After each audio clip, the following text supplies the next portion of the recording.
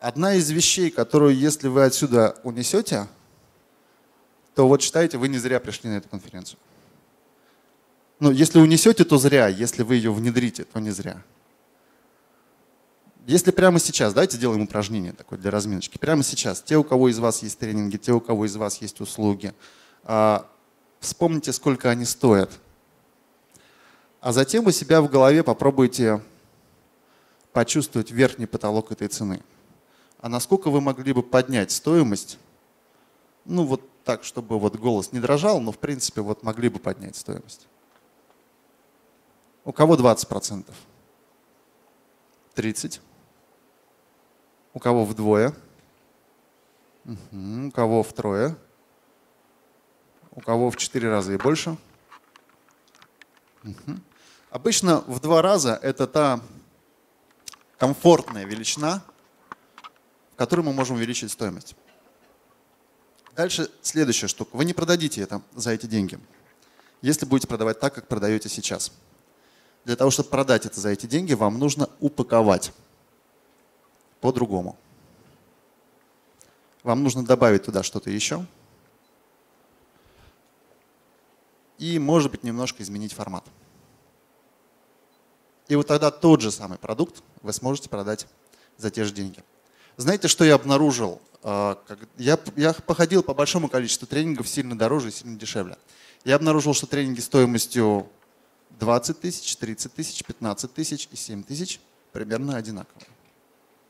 Разница заключается в том, как они преподнесены, как они сделаны, как они упакованы, какой сервис, какие услуги вместе с этим следуют. Так вот, как вы можете... Сейчас он развалится и...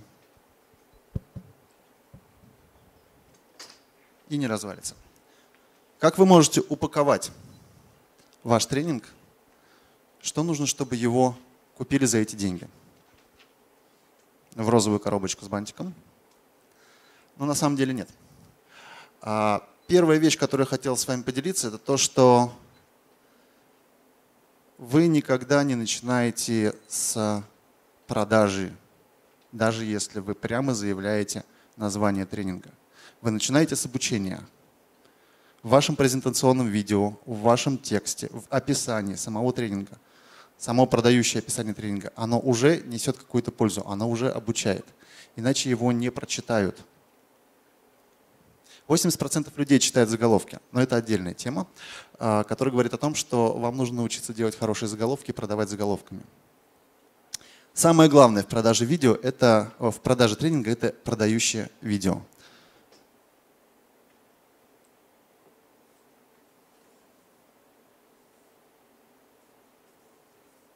Как вы думаете, почему?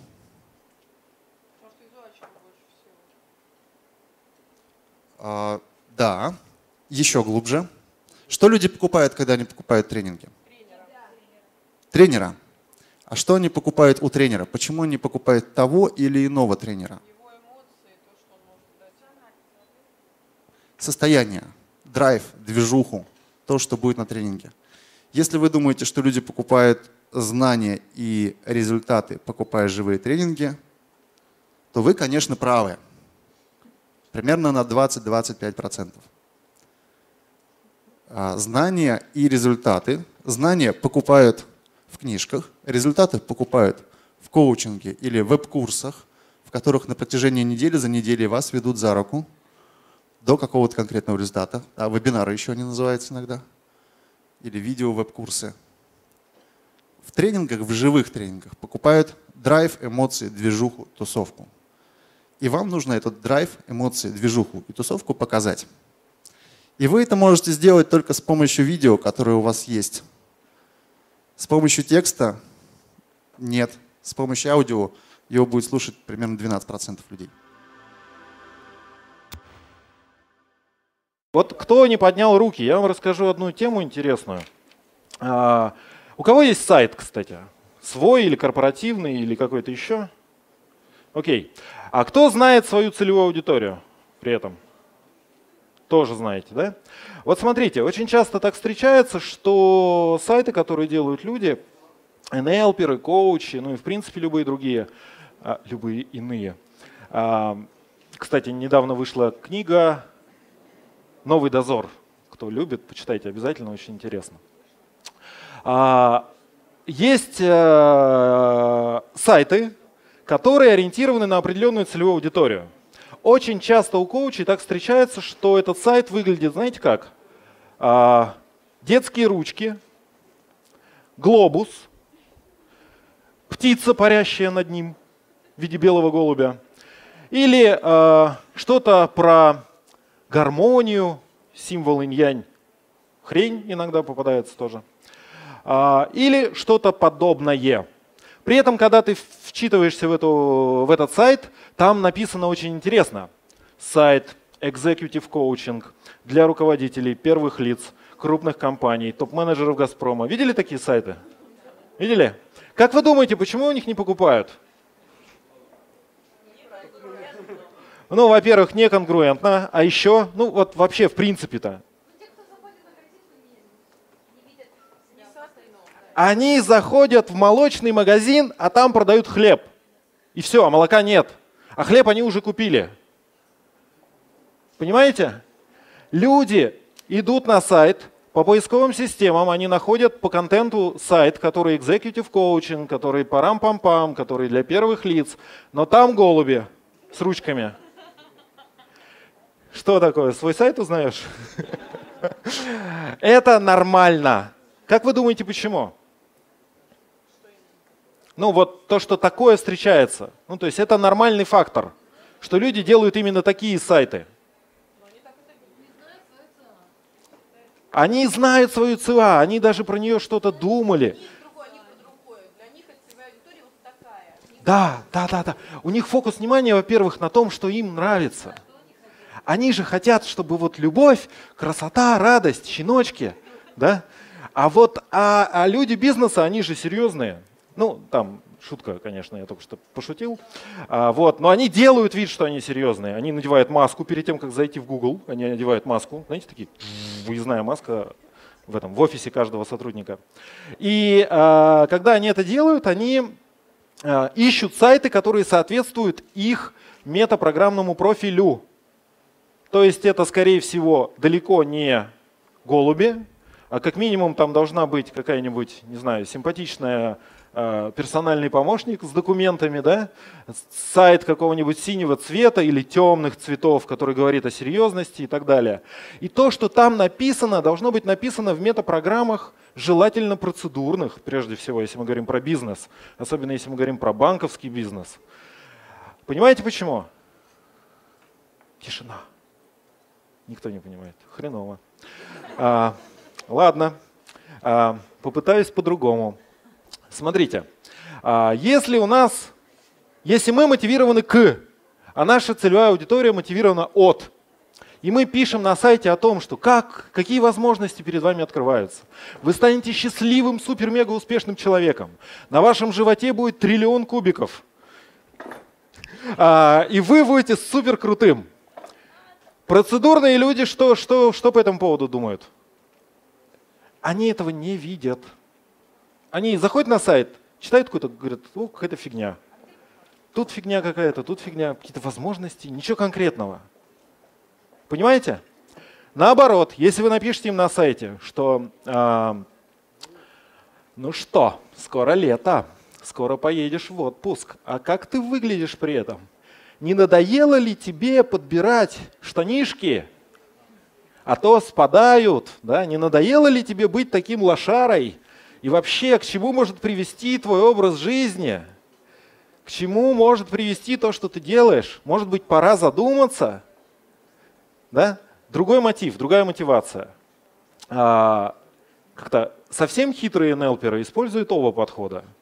Есть а, продающая формула, которую вы все давно, наверное, знаете. Кто-нибудь знает продающую формулу? Я не знаю, скажите, пожалуйста. Это останетесь после уроков. А вот эта схема, ее рассказывал э, Игорь Леонардович Викентьев из Санкт-Петербурга, э, руководитель компании «Это из шанс». где-то больше 15 лет, мне кажется, они проводят конференции, где они моделируют, как же все-таки раскрутить тренинговую компанию, и по их данным, э, что здесь изображено на этой схеме. Вот смотрите, видите, деньги, много-много-много денег мало-мало-мало людей. Как вы думаете, кто это? Кто эти люди?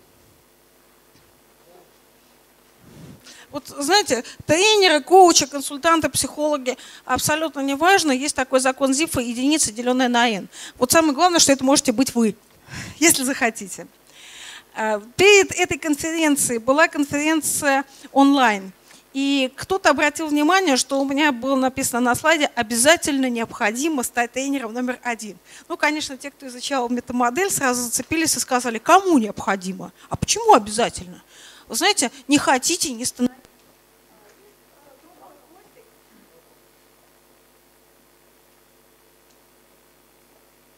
Есть другой хвостик, вот этот, да. А здесь очень-очень много людей и очень очень-очень много людей, очень мало денег. Вот это, к сожалению, то, где находится большинство коучей. Зайдите, допустим, на сайт такой есть b17.ru, и вы найдете несколько тысяч коучей, консультантов, психологов, советников, кого-нибудь еще, да, которые берут очень-очень маленькие деньги. И вот здесь посередине, видите, сегмент, да, это такой средний ценовой сегмент, средний по рынку, там некое количество компаний, которые берут среднюю соединенную сумму тренинга. А, то есть, смотрите, усилия я же еще тренер по тайм-менеджменту, и мне всегда важен вопрос эффективности. Усилия одинаковые, согласитесь, да? То есть один час коучинга – это час вашей жизни. Согласны? А вот где бы вы хотели провести этот час? Такой вопрос вот, на засыпку. Э, кто-нибудь ответьте, пожалуйста. Вот у вас есть час, абсолютно такой незабываемый, который вы могли бы провести. Предположим, у вас есть любая сумма денег, не стесняйтесь, скажите, лучший час вашей жизни где хотите провести? В постели с кем? С Мадонной? Так, хороший выбор. А, чем хотите? Вот это лучший час вашей жизни. Чем хотите заниматься? Один вариант нужен. Вот час уже пошел, время пошло, секундомер включен. Тик-тик-тик-тик-тик-тик. С семьей так. На Бали так. В небе так. Еще варианты. Читать книжку, интересно, да. А теперь предположим, что вам осталось жить, ну, допустим, один день. Ну, так случилось. Вот, ну, случилось и, и случилось. Но у вас есть один час, который вы можете провести где хотите, как угодно. Что-нибудь поменялось в вашем ощущении э, ценности этого времени? Вот тебе представьте, сколько часов вот эти люди, которые вот здесь в хвостике, э, проводят, может быть, не так, как они бы хотели, работая за очень маленькие денежки. То есть э, не хотите вот туда наверх, можете сидеть здесь, пожалуйста. Это ваше право. А если хотите наверх, соответственно, на этой конференции будет много хороших докладчиков. Павел Колесов, опять-таки, и многие другие. И они научат каким-то элементам, соответственно, э, собирая их в систему, у каждого получится свой результат. Однозначно получится. Сегодня, когда мы шли сюда, я встретила Германа, мы с ним познакомились много лет назад. И мне было очень приятно, когда он рассказал про те результаты, которых он добился. Хотя вроде казалось всего лишь на все двухдневный тренинг. А, год назад мы составили примерно вот такую схему по поводу карты. Нам было интересно, если наложить НЛП на карту России, что получится. Смотрите, у нас есть огромные площади, а, где практически никто не живет. Ну, то есть там плотность населения очень маленькая, да? Есть э, города в середине, и кажется, что там есть звездочки, там есть НЛП, да?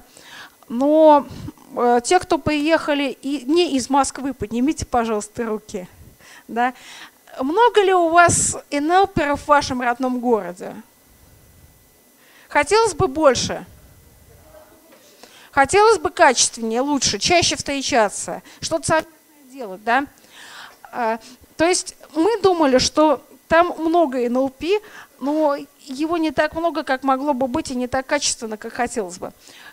Хотя НЛП стремительно улучшается. Но что интересно, что сейчас с развитием интернета, с развитием скайпа э, вы можете сидеть где угодно, и мы практически все сравнялись. То есть неважно, откуда вы ведете коучинг. Э, вы можете работать с клиентами из Америки, из Австралии, откуда хотите, в любое время дня и ночи. Э, пожалуйста. То есть возможности старта у всех практически равны. Значит, соответственно, выходите вы такая красивая или такой красивый на рынок, вы рассказываете всем, какой вы замечательный коуч. Что дальше? Следующий, следующий шаг. Что может случиться? Кто-нибудь сталкивался с черным пиаром? Кто-нибудь когда-нибудь... Можете сказать пару слов, как это было?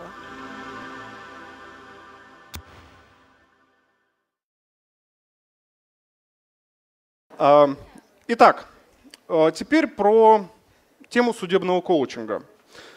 Э, она будет э, изложена опять-таки в таком не очень сильно подготовленном виде, поскольку я, порывшись в ну, в открытых информационных источниках не нашел особенное использование этой темы.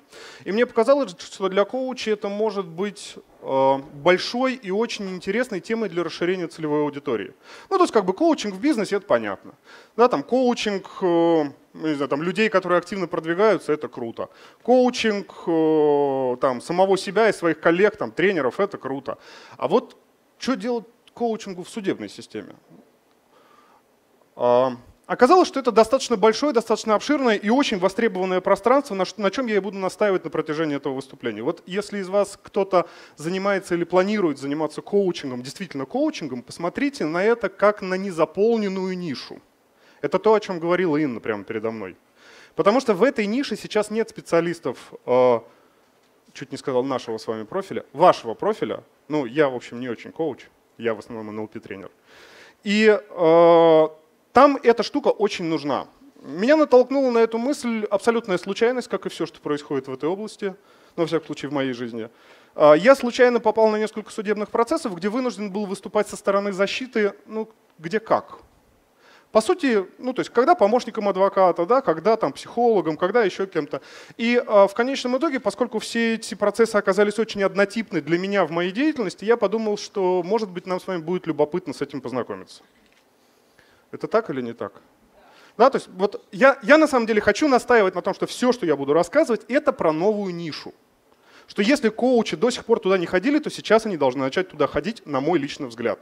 Чтобы не толкаться вот в этом ограниченном пространстве, что называется, разбирая первых лиц компании и крича, что нет я, нет я. Лучше, мне кажется, в свободную нишу. Итак, эм, перед тем, как эм, я начну рассказывать про то, что подарил мне мой опыт в этой области, несколько моментов исторической справки. Кто-нибудь знаком с работой э, судебной системы в России? Не понаслышке? В смысле, ну в какой роли? О, отлично. Это, это эксперт. То есть человек, который выступает в суде, который рассказывает, которому задают вопросы адвокаты, обвинения, прокуратура. Да? Да, да, да, замечательно. А, спасибо. Да, это краткий комментарий. То есть есть в аудитории один человек, который меня поймет, если что, возразит. Нормально, да. А, так вот, э, судебная система в нашей стране устроена очень любопытным образом. Вот задумайтесь, вот да, давайте не будем говорить об уголовных преступлениях, связанных с намерением совершения, с намеренным совершением уголовного преступления. Ну, то есть там захотел кого-то замочить, замочил, да, ну прикольно. В инфопространстве можно, в реале нельзя. А в реале за это судят. Ну, а мы об этом сейчас не говорим, а мы говорим о случаях, которых намного больше, пласт которых намного шире. Это случаи, когда это произошло непреднамеренно. Ну вот вы попали в такую ситуацию. Я не знаю, там дурацкая ситуация на дороге, сбили кого-то, не дай бог никому. А, дурацкая ситуация э, в уличной драке, таких вон их в средствах массовой информации, вагоны, маленькая тележка. Семейная ссора, еще что-то. Никто не хотел плохого, но так произошло. И дело попало в уголовное производство. Давайте посмотрим на расстановку сил. Что там происходит? А, есть две стороны. Это обвинение и это защита. Ну, само по себе уже немного не, неправомерно, ну, в смысле, неравномерно, потому что защита, как вы понимаете, ну, защита, она и защита, она не наезжает, да? А, в нашей стране заказчиком...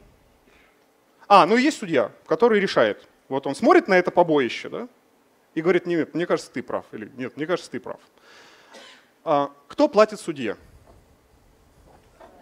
Государство. Кто платит обвинению? Государство. Кто платит защите? На самом деле, когда как, но чаще подсудимый. Не очень интересно, правда? Шансов маловато. Это надо понимать. Таким образом, э, те, кто оказываются вот в этой ситуации, априорно, априорно нуждаются в поддержке и защите. Они, они просто в проигрышной ситуации по определению. В случае сговора между прокуратурой и судом, вагон и маленькая тележка. А поэтому мы изначально попадаем именно в такую ситуацию. Причем ну, про сговор мы не знаем никогда, даже если он есть или даже если его нет. Теперь э, давайте посмотрим на эту ситуацию еще немножечко глубже. Может ли э, человек, оказавшийся в дурацкой ситуации, шел, шел по улице, подскользнулся, сбил другого прохожего, он стукнулся головой там, об асфальт и получил тяжкие телесные повреждения. Случайно. Его, естественно, судят за непреднамеренное там, нанесение тяжких телесных повреждений. Пытаются впарить ему пару лет колонии. Немало, между прочим. Плюс выплаты еще, компенсации. Что на самом деле он может сделать сам, один? Я вам честно скажу, с точки зрения практики, российской практики судебной системы, ничего. Вообще говоря, это уже в принципе и международная практика. То есть уже абсолютно точно понятно, что ну, э, обвиняемый, э, как и э, кто он там, ну, в смысле этот, который, который, который, тот, кто обвиняет и тот, кто защищается, да, это профессия. Огромное значение имеет то, как вы скажете о том, что произошло. От того, как вы скажете, зависит результат, иногда очень сильно. То есть то, как сказать, становится нашей с вами профессией. А кто знает про то, как сказать, кроме юристов? Дай бог, чтобы только с юристами это случалось, что ли? Не дай бог. Поэтому мы с вами сталкиваемся с ситуацией, что первое, что начинает делать подзащитный, если он понимает, что без этого ему никуда не обойтись, а без этого ему по факту никуда не обойтись, он пытается найти людей, которые ему скажут, как правильно давать показания, как правильно там, что заявлять, какие ходатайства писать, да, в какие экспертизы, что, с чем соглашаться, с чем не соглашаться. И, естественно, для этого идет поиск адвоката. Ну, адвокат это человек, который априорно в более слабой позиции, чем обвинение, и поэтому позиция защиты все время усиливается какими-то другими сторонами. Кто обычно включается в усиление позиции защиты? Я вам скажу, есть единственный инструмент, который, два инструмента, которые могут...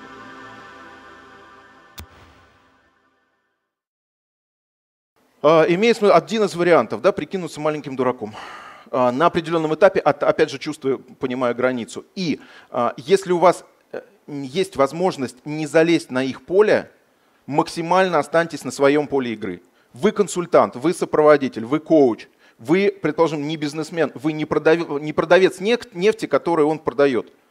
Это из реального опыта, когда проводишь сопровождение, предположим, э, совещания, э, то, что делается в больших компаниях, если, ну, если они договориться не могут. Тоже это одно из таких э, видов деятельности, которые кому-то из вас, может быть, предстоит, или вы этим занимаетесь. Так вот, пять человек смотрят на вас, говорят, мальчик, а ты продал хоть стакан нефти, чтобы нам советовать? И в этот момент очень четкое отделение нужно делать. Я здесь специалист по коммуникации, я здесь специалист по созданию, там, не знаю, вашего имиджа, бренда, э, мысли, а все остальное, соответственно, это не моя специфика. И тогда вы находите зоны преткновений и интересов.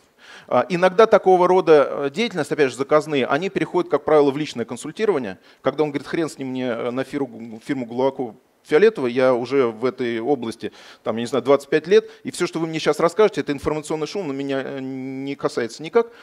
А, давайте вот лучше вот про это, про это, про это. И зачастую это зоны, которые переходят потом в долгосрочное а, консультирование, долгосрочное, а, опять же, может быть, да, психологическое консультирование его и его друзей, так называемое, там, не знаю, иногда в дружбу переходит. Когда раз через несколько лет он вызывает себя, у него кризис наступает, это возраста детский, лет в 50, вот, ну еще до маразма, соответственно, он говорит о том, что пора со мной что-то сделать. А, это, это зона коучинга. Поэтому здесь мы играем на, на уровне риска. А, что еще играет в русском? Ну, я пока рассказываю да, про свой собственный опыт, то, что у меня это было. А, где побыть дурачком? Не знаю, насколько вам удается быть в сопровождении. То есть одна из видов моей деятельности э, э, протокольщиков – это люди, э, которые с первыми лицами постоянно и всегда. И вот то, что иногда им приходится делать в качестве, соответственно, выступления перед аудиторией, там, на каких-то публичных выступлениях, перед, перед телевизором, в этом смысле хорошо помогает, помогало мне. Я не знаю, Фрэнк Пьюсель, который сегодня будет рассказывать тему, может быть, он ее коснется. Это так называемый способ вызывать состояние у вашего клиента, когда когда вы сидите где-то там. показывая его мимикой, там, якорение, да, это умно называется в НЛП. Вот. Э, независимо от того, как про вас подумают. Стоишь там и начинаешь прыгать и, и корчить рожи. Если министр землетрясения э, больше ничего связать не может, э, пускай он смотрит на меня и улыбается. Пускай про меня скажут, что странного парня пригласили, что-то он фигню какую-то делает. Это приводит к результату. Это тоже одно из таких наблюдений. Интересный спектр организаций, которые, о чем я сказал, да? А? о чем я сказал, экспаты так называемые. Знаете, слово, слово знакомое?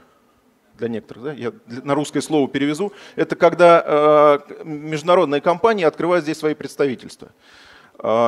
Прекраснейшие люди, значит, э, есть одна из организаций, я не назову ее, она достаточно известна во всем мире, ее владельцы шведы, а исполнители наши. У нас есть на территории нашего нашей страны несколько заводов производства. И вот одна из задач была э, сделать несколько сеть э, коучинговых таких форматов проведения тренингов и проведения личных консультаций э, по первому управляющему звену. То есть это начальники цехов, начальники подразделений. А это люди, которые живут, ну, предположим, такой город есть, великолепный город Тихвин, 400 километров от Питера. То есть э, у, у них, э, в общем-то, очень свое представление о том, как надо вести. И тут наступает еще один момент, о котором э, я обязательно хотел и хочу сказать. А, два-три варианта постановки задач и договоров. И вот на первом этапе, если заказчиками при, принятия решений являются действительно иностранные специалисты, мы готовим им материалы, мы готовим им коммерческое предложение, там, я не знаю, или тренинговую программу, исходя из их менталитета. Чуть-чуть о чем говорил там Денис, да, из, с учетом программных профилей, там, в других каких-то. А, просто внимательно слушай, что же они хотят. И а, в большинстве своем вот эти э, крутые модели с крутыми названиями будут вплетаться туда как имидж о вас и мнение о вас, о том, что э, вы хороши, вы ими владеете. Но это совсем не то же самое, что вы будете на самом деле делать. И второго рода а, заказ, и второго рода это то, что вы подаете а, нашим российским вот туда. Знаете, очень интересно, а, встречаешься с ними как бы по отдельности. Один говорит, ну мы же им деньги даем, что они не работают? Вы их сделаете так, чтобы они работали за деньги?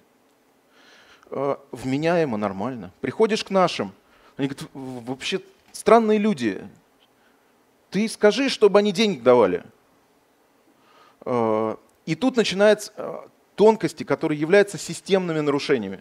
Вот почему я предполагаю, что если мы работаем с э, более комплексными организациями, берите не за единичные э, заказы, а там, где есть комплекс. Привлекайте своих коллег, э, там, включайтесь, ну, переключайтесь от фрилансеров там, на компании. Это выгоднее, это удобнее. У вас тогда есть представление о всей системе в целом.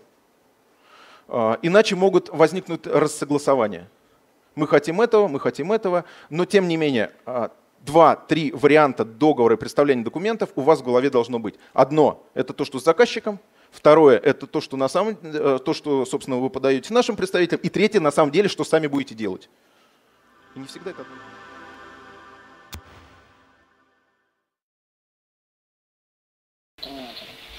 And I was in my bedroom one day and I said, I'm very disorganized, Dad. И как-то в своей комнате я сказал, пап, я такой неорганизованный.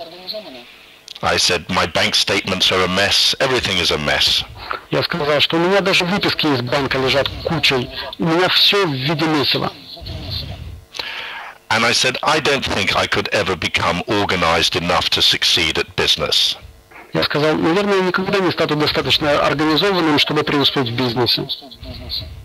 And he looked at me and he said, change. Он посмотрел на меня и сказал, поменяйся which is like an NLP embedded command. В NLP это называется встроенная команда. Later on, I went to college and I studied business and mathematics. I wanted to go into uh, into my own business when I was in my 20s. Позже я начал изучать бизнес, математику и захотел открыть свою компанию, когда мне было 20 с небольшим лет. So I spoke again with my dad and said I wanted to do something clever with my money. И я снова поговорил с отцом и сказал, я хочу удачно вложить свои деньги, я хочу, хочу что-то с ними сделать. But I had no money at that time. Хотя денег на тот момент у меня не было. So I said I wanted to invest the money for taxation into uh, s- a stockbroker to make investments for me. Э, Поэтому я сказал, я бы хотел вложить деньги в акции таким образом, чтобы они затем приносили а, определенного рода доход и сделать это так, чтобы с налогами тоже все было хорошо. And I would spend that money um, only 10% if they went down in value. Причем, если бы объем инвестиций падал в э, ценности, то я бы тратил, тратил только 10% от этих денег. I was speaking like a real student. Я говорил как настоящий студент, как хороший прилежный ученик. And my father got very, very angry with me. И отец на меня тогда очень сильно разозлился. And he said that I was an idiot Он назвал меня идиотом, and I should just go and make some fucking money. и сказал, что я должен просто начать зарабатывать долбанные деньги. And until I had some money, I knew nothing. До тех пор, пока у меня не появятся свои деньги, ничего я знать не буду. This was very good advice. Это был очень хороший совет. So this is a little bit of the story of my background of how I got into business and then um, built a business. Это немножко из моего прошлого, о том, каким образом я пришел к бизнесу, о том, каким образом я создал бизнес. And my father became my coach, Отец стал моим коучем, and he died about 12 years ago. и он умер примерно 12 лет назад. And the first book, Think Like an Entrepreneur, was dedicated to him. И моя первая книга по предпринимательству была посвящена именно ему. And my third book, How to Coach with NLP, was a little bit about how he coached me to become successful in business. А моя третья книга «Использование НЛП в коучинге» была нем- немного рассказом о том, каким образом а, использовать коучинг для бизнесменов, для того, чтобы они достигли успеха. So I have had the opportunity from an NLP perspective to model business people for a very long time. С точки зрения НЛП у меня была возможность моделировать успешных бизнесменов достаточно долго. And this talk today will be based on my modeling of business people to create the various books and courses I do. Сегодня я буду говорить о том, каким образом я моделировал бизнесменов, э, продолжая писать книги и создавая различные тренинговые курсы. Okay. So I now want to start my presentation properly. А теперь начнем с правильной презентации меня. So when you look at the model on the screen, you can see think, feel, vision. Посмотрите, пожалуйста, на презентацию на экране. Сверху вы э, увидите следующие три слова. Видеть, ч- э, думать, чувствовать, видеть. And this came from the principle from the uh, NLP trainer Stephen Gilligan. Э, в общем-то, этому я научился у тренера NLP по имени Стивен Гиллиган. Where he talks about a cognitive mind, a somatic mind, and a field mind. Он говорит о когнитивном разуме, о соматическом разуме и о полевом разу- э, разуме. I interpreted this um, in a s- more simple fashion that the cognitive mind is the thinking mind. Я пересказал это более простыми словами. Когнитивный разум – это называется думать. The somatic mind is the mammalian brainstem, but also the body mind. Соматический разум – это разум тела. It is for me a combination of emotion and physicality. Для меня это комбинация эмоций и всего, что относится к физическому. And the last one, vision, is the field mind. И последнее, видение – это полевой разум. So the field mind I like to explain to people as an example of people operating together in a, a team setting. А полевой разум – это п- э, пример людей, которые работают вместе в группе, в команде. There is a neurological process called um, limbic resonance. Существует определенный нейрологический процесс, который называется лимбический резонанс. where when two mammals are in communication, their brains fire differently. The two uh, brains fire. Uh, the brain is operating differently when they are together. Когда два человека общаются, то их мозг функционирует по-разному. So there is a kind of connection to something bigger than yourself. Есть определенного рода связь с чем-то большим, чем только вы. So that is the top three qualities, thinking, feeling and vision. Это So верхних три качества – думать, чувствовать и видеть. Now going down the other column, leadership, operations, sales and finance, Теперь, если мы посмотрим на левую колонку, мы увидим лидерство, операционная деятельность, продажи и финансы. these are the four qualities that I identified in modeling entrepreneurs. Это те четыре качества, которые я выделил, моделируя предпринимателей and business leaders. и руководителей бизнеса. So I want to tell a story about one of my clients who had a very large business. Эм, Расскажу вам историю про одного из моих клиентов, у которого был очень крупный бизнес. He went into business with 16 and uh, start, bought a shop. Uh, Он начал бизнес в 16, купив магазин. by the time he was 30, he had 30 shops and the biggest distribution business for toys um, in Europe. К 30-летию у него уже было 30 магазинов и огромная сеть дистрибуции игрушек в Европе. So I asked him, what is the difference that makes a difference for you? Я его спросил, в чем то самое критическое различие, которое сделало тебя таким? And he said this, I have many directors in my business. Он сказал, в моем бизнесе есть большое количество директоров, operations director, sales director, finance director, buying director, etc. директора по операционной деятельности, директора по продажам, директора по финансам, директора по закупкам. All of them are better at what they do than me. И все они в своей области деятельности э, разбираются лучше, чем я. But the difference with me is I could do their jobs. Но разница в том, что я мог бы выполнять их работу, And none of them could do each other's jobs. но никто из них не мог бы выполнять работу друг друга. So I invented the concept of the capability sets from this conversation. Из этого разговора я создал определенный набор возможностей. And I use the metaphor that a chain is only as strong as its weakest link. Очень люблю метафору, которая гласит, что цепь настолько же сильна, насколько сильна ее самое слабое звено.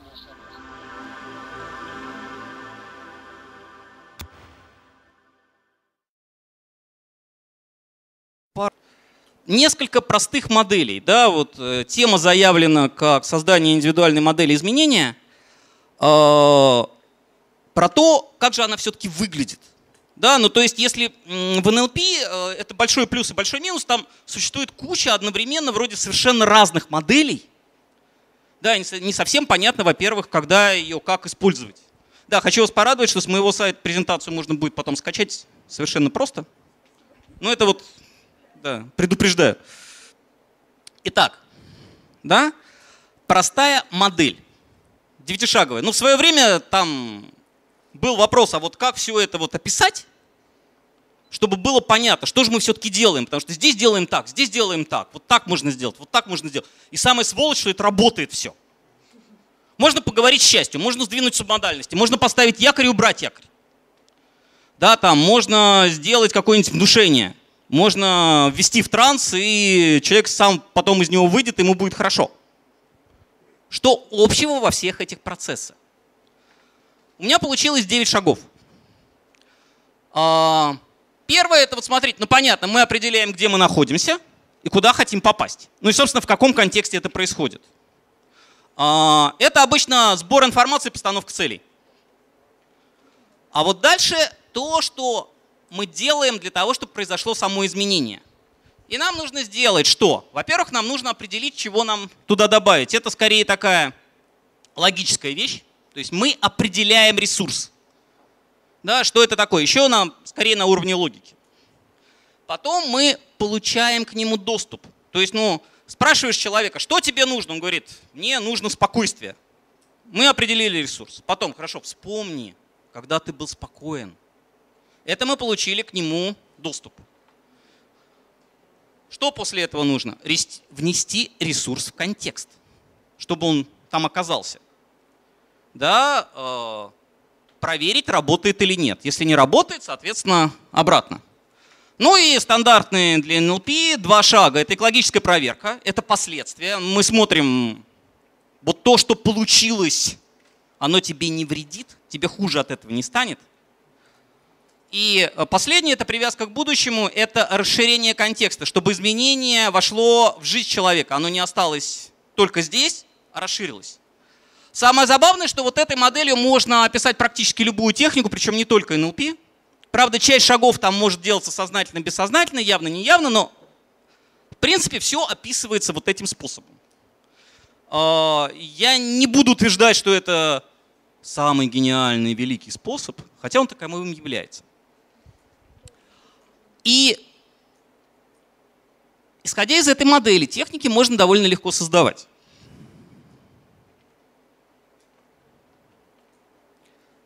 Да.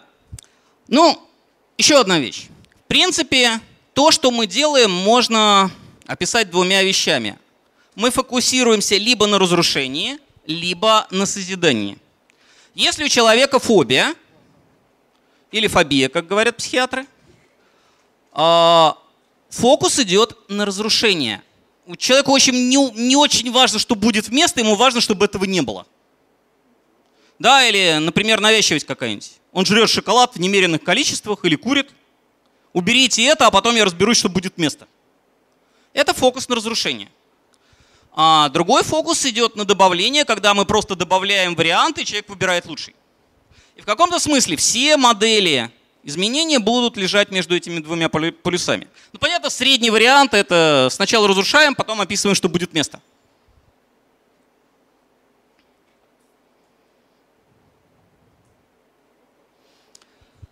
Соответственно, вот смотрите, у нас же будет в каком-то смысле две модели. Первая, как мы описываем актуальное состояние, и как мы описываем желаемое состояние, а потом еще как описываем переход. Причем это должно быть понятно клиенту, это должно быть понятно оператору. Из этого все-таки должно следовать, как из одного попасть в другое. Ну, один вариант. Мы можем описать, значит, еще раз, вот таких моделей можно создавать кучу, кучу, кучу, кучу. Это просто примеры. Да, э, то есть э, я у себя как раз на тренингах э, тренирую, говорю, вот мы заканчиваем сбор информации в тот момент, когда у вас появляется рабочая модель, с которой можно что-то сделать.